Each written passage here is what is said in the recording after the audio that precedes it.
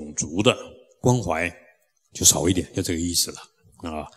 那在这一点是一个民族习性，民族习性。所以我认为这个世界，我们汉人，还有在美国的这些早期的这种心态的，他们有开发的力量。但是我们汉人好像企图心强一点点，私心多于 利他的心，到每个地方都是去捞钱的，啊，把啊利用别人的廉价劳工来得到自己的大富大贵。我在缅甸啦。呃，我在印尼啊、菲律宾啊，我都去跑了，泰国啦，哇，这个华人占有当地的经济啊，啊，但是呢，对当地的做的不太多啊，如果做的够多的话，就不会引起抗议了，啊，所以，当然，这每一种民族我们都要去了解，那让自己，虽然你是这个民族的人，但是却没有这个民族的习气啊，特别各位到。在国外来，你一定要把国外的好学进来，好不好？不要把国外的不好学进来。我看很多年轻人戴着耳环、烫了头发，已经咕噜呱啦不知道在干嘛了。啊，他就明明你是华人，却不会讲半句华语，啊，都是洋人习气，但是却没有把华人的特色留下来。啊，穿衣服也这么暴露，啊，等等等等，这些都要很小心。所以我们。虽然要度对方，但是又不能不能被对方给啊不好的去掩昧，保留自己好了，又学各种文化民族的好了，要这样去学习。好，《大乘四法经》，那各位刚刚念过了，我只解释一下：菩萨摩诃萨应发四种真上越来越强的意乐，我要圆满这个啊意乐。所以佛教里面的修行是一种意乐。我要牺牲自己，什么叫意乐？一个女人说：“哪一天我找到我爱的男人，我为他奉献，这也是意乐。”那这种意乐是没意义的、苦的、有所求的。所以讲到这地方，我们所认为的痛苦，都不是别人给我们的，是自作自受啊，自己的无名啊，所贪爱所造成的，不要怪别人。啊，你如果要改变现在的痛苦，唯有改变你自己。你真的改变了，对方才有可能改变。那有人跟我说：“师傅，我儿子脾气很不好。”我就看他一眼：“你好吗？” 你要开始温柔体贴，你儿子就会学你了。因为你儿子脾气不好，是针对你来的。啊，他在外面朋友可好的不得了，回到家里就跟你吵架。是因为你用这种习性激发他更大的脾气，你们上辈子吵到这辈子来了，啊，那如果你彻底的改变了，然后呢，对方就就奇怪，他也会改变，对不对？你就不是他激发的因，所以我我讲到这个地方，原来佛法是在人跟人、人跟世界、人跟众之间的摩擦所发出来的光。就像阴电阳电一样，啪啪啪啪，你才会产生佛教的智慧。从这里面去找到自己，从这里面去配合对方。你一直在跟我触电，我保持不动就会发光，对吧？但是如果你觉得这个电极很痛苦啊，很麻烦，那就没有办法啊，只会插火不发光。所以我想，所有的自在快乐是在痛苦里面、忍辱里面完成的。是在对立里面，相对的对立里面，你才达到绝对的。千万不要找随顺自己心的，喜欢不喜欢，在在做事情。好，所以菩萨应该发起四种，我一定要这么做。那你要成为心灵的主人，把心变成一种愿，而不是在随顺自己。我喜欢睡觉，我懒得思维，我喜欢。少事少业，我只喜欢这个喜欢的，不喜欢那个不喜欢的啊！我喜欢管人，但我不管自己。每个人都有每个人的问题，所以我这两天要各位说，我的问题在哪里啊？你要找到最最真的你的缺点在哪里？最好你旁边还两个证人，对对对，就是他。你要带证人来，你都知道了，你还不听，拿着鞭子，所以你要找出你的缺点。那所以佛陀说，为什么各位要去亲近善知识？这个善知识他可以知道你的缺点，千万不要拿很多钱巴结巴结啊！像我过去太太看到我师父，他为了不让我出家，哪一个我接近的，就黄金珠宝都给他塞下去，对方就不敢讲他缺点，不敢让我出家啊！所以这也不是办法。所以你要对方真的讲出你的缺点，而且你真的在进步。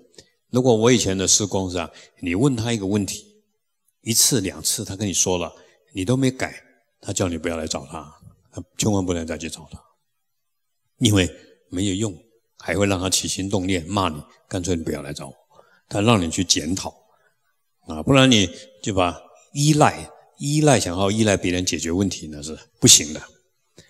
好，所以各位要。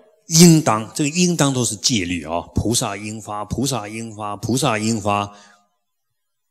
那各位，你不能看看就算了，要去做，要成为你的生命的戒律。云何为是？一摄一切众生心。各位能持佛？这个佛教要这样修啊！能持佛，你要开始去摄受所有众生，也就是说，这是责任感。所有众生轮回的苦、生老病死的苦、富贵贫贱的苦，都是你修学佛法的责任，你要承担。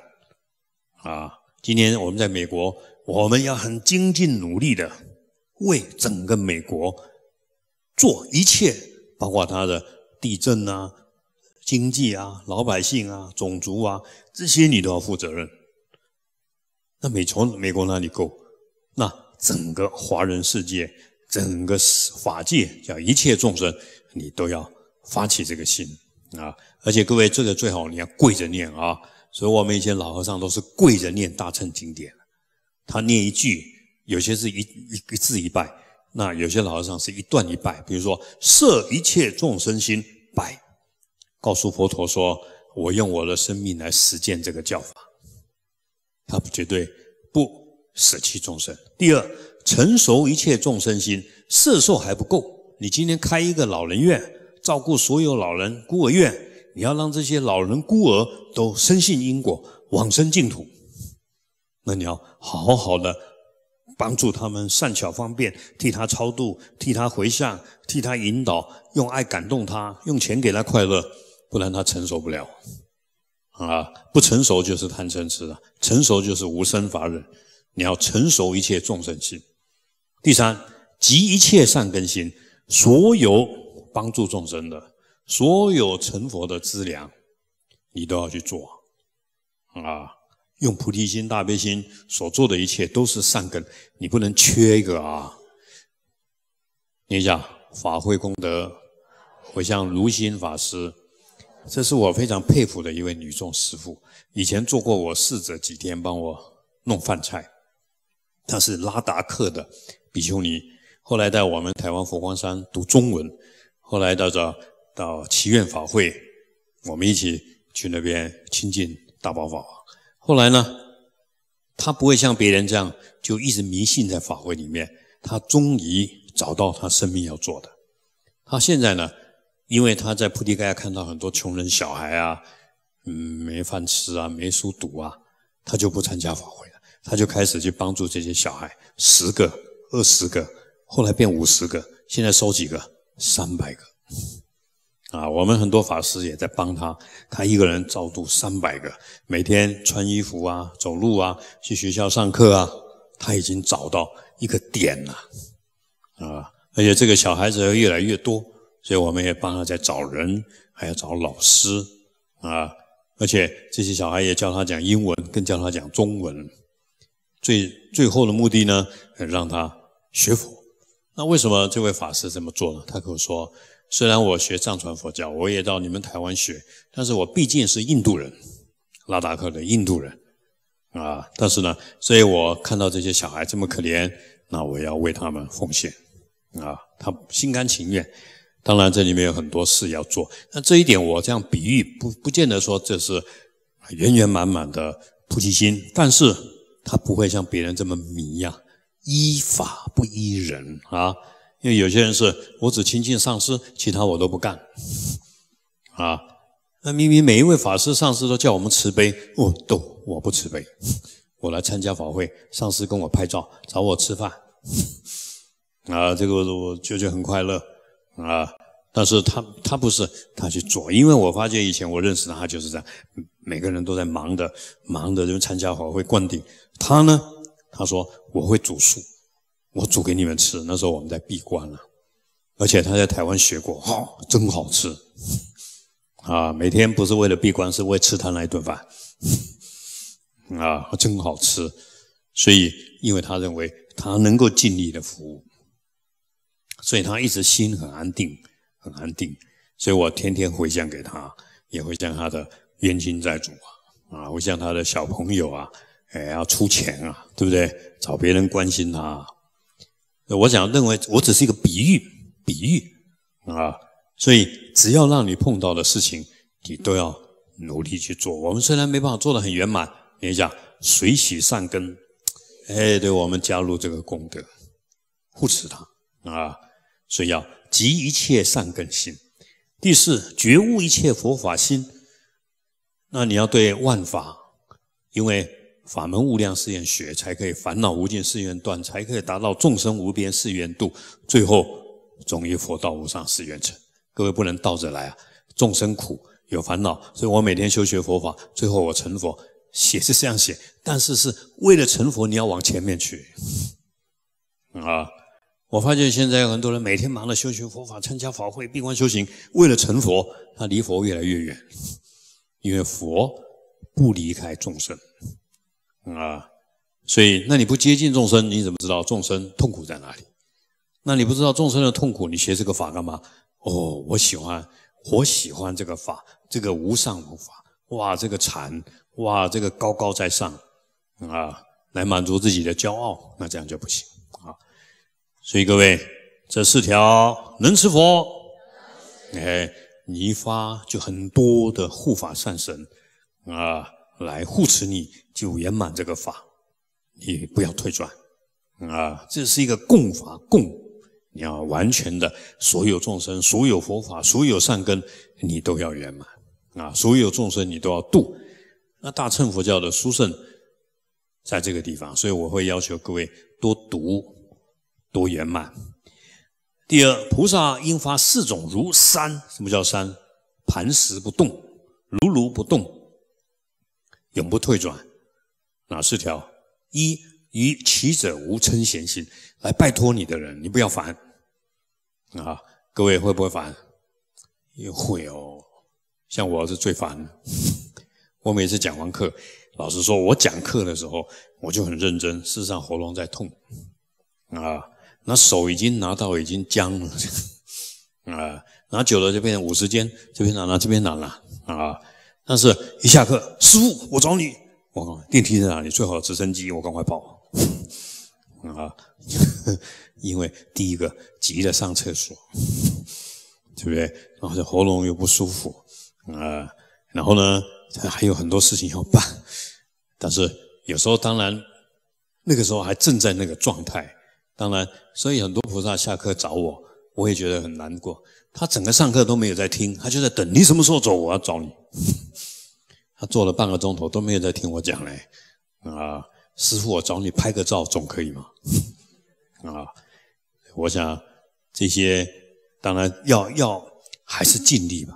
啊，但是无论如何，对你祈求金钱的、祈求佛法的，各位都不要厌烦，不要嫌弃他，不要生气。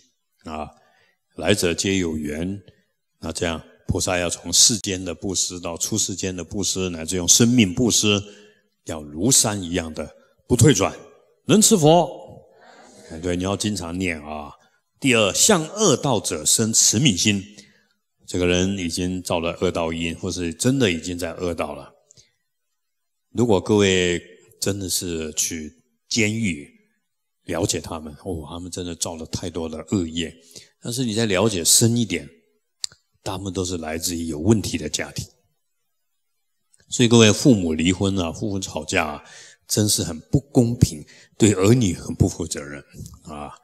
因为让小孩子从小就破碎了啊。所以在这一点，他们就造了很多恶业来引起社会对他的注意，或者说父母。